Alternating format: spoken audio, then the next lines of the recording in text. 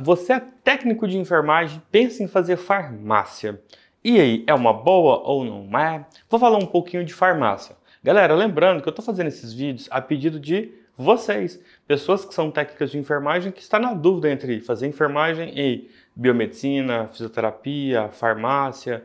Então, é, eu vi um comentário, achei até maldoso o comentário. A pessoa falou assim: Nossa, até ele está incentivando as pessoas a saírem da enfermagem. Estou fazendo um vídeo a pedido de vocês. Vocês pediram para passar uma, um pouco de outras áreas. Eu nem sou da área, estou falando do que eu sei daquela área. Se eu for para eu recomendar, vou recomendar que você faça enfermagem porque é o que eu vivo, é o que dá certo para mim, que deu certo para mim, dá certo para os meus alunos que realmente querem ser enfermeiros acima da média.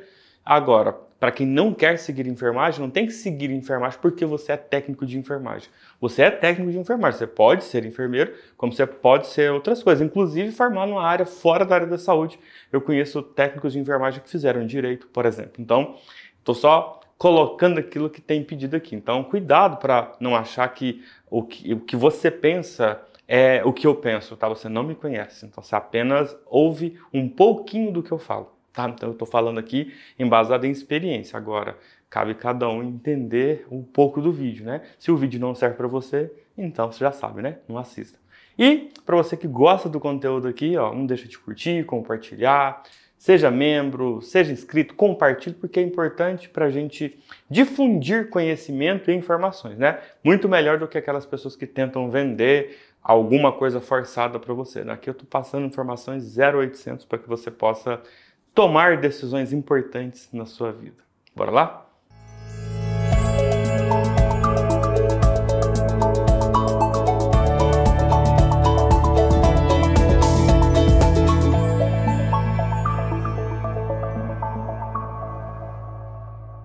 Bom, farmácia. Eu trabalhei na faculdade, já fui coordenador de enfermagem. Obviamente, né, as, as coordenações eram do lado, é, então eu tinha uma, eu lembro até o nome dela, né, a Vivian, era a coordenadora da farmácia, a gente conversava bastante, a gente discutia é, o mercado de trabalho para os alunos, né, eu na enfermagem, ela na enfermagem, então era um papo bem bacana. E uma coisa interessante que muitas pessoas, mas muitas pessoas é, talvez não tenham a dimensão é, grande parte das pessoas, é uma maioria, tá? A maioria pensa na farmácia como farmácia, né? a farmácia é estabelecimento.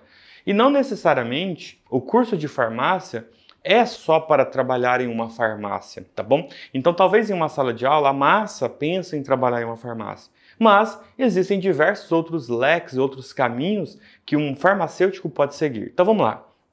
Existe a indústria farmacêutica, que também você pode, como um farmacêutico, trabalhar na indústria farmacêutica. Então, é uma área mais de pesquisa, é uma área que você tem que envolver muito essa parte farmacológica. Então, é um leque importante que as pessoas meio que entram no curso de farmácia pensando apenas no estabelecimento. Então, tem a, a parte da indústria. E eu te falo, falando de remuneração, é uma remuneração excelente, muito boa.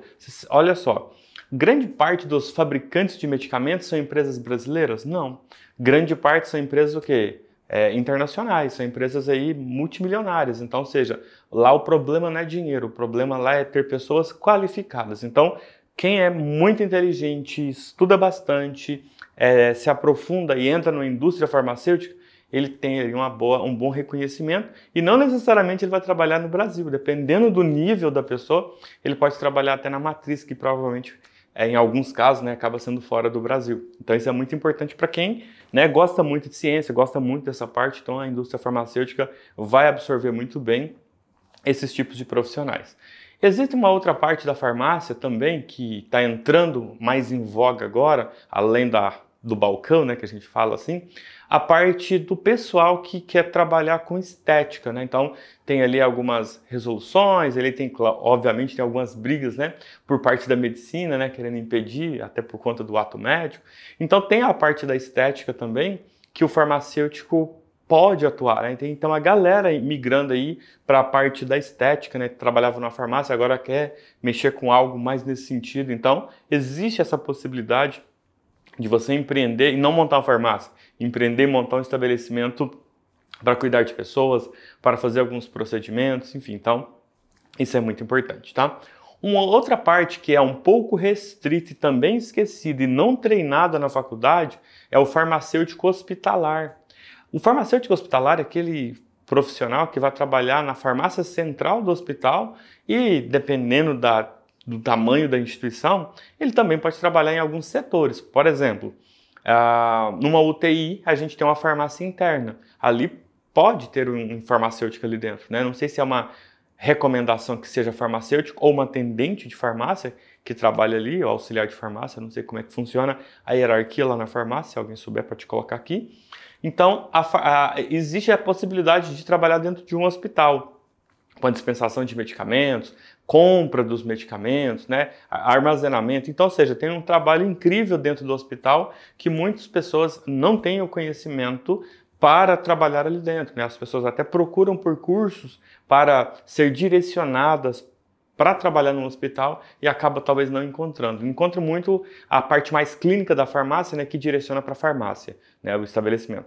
Então, olha só o leque. E aí, quando a gente pega esse leque de farmácia institucional, no caso do hospital, existe uma grande demanda para home care. Home care tem farmácia igual ao hospital e é uma farmácia gigante o, pro, o, problema é que as pessoas não conseguem enxergar tanto que um home care é maior que um hospital. Um hospital tem um limite físico, onde as pessoas estão internadas ali dentro. O home care, as pessoas estão hospitalizadas dentro das suas casas. Mas para abastecer toda essa logística, lá no setor, precisa, não é só de um farmacêutico, não, de vários. Né? Então, tem, precisa desse profissional trabalhando lá para que esse profissional possa, de fato, falar assim, poxa, eu tenho muita coisa para fazer, eu tenho que dispensar o medicamento certo. Pensa só, uma coisa é dispensar o medicamento errado para o leito 4, errado assim, né? A pessoa se equivocou ali na hora de checar a prescrição. Outra coisa é a saída do, do de um centro de distribuição para ir para uma residência. Então, precisa de profissionais para fazer esse cheque, né, para conferir, para estar tá tudo certo ali. Então, tem um leque, uma demanda grande. Tem a parte de manipulação, olha aí, outra área, né? Uma área de manipulação. E se você é farmacêutico, se você não quer empreender, você pode trabalhar para pessoas que empreendem, mas você pode montar o seu negócio. Por exemplo, a farmácia de manipulação. Claro que eu nem sei para que lado que vai os trâmites necessários, mas se é isso que você quer, tem essa possibilidade, né? E para todas as áreas tem a possibilidade também da docência, né? para você ser professor num curso de farmácia ou numa pós-graduação, a depender da, da área que você vai se especializar. Então, existe aí um leque importante para quem quer trabalhar, quer entrar para o mundo da farmácia. Então, pense, você vai trabalhar com várias formas, é, várias formas de entregar ou a informação ou o produto, no caso, medicamentos. Então, é um pouco do que eu sei sobre farmácia. Claro que né, tem experts aí da área da farmácia que pode colocar aqui embaixo aí as considerações que talvez eu não tenha falado. Tudo bem?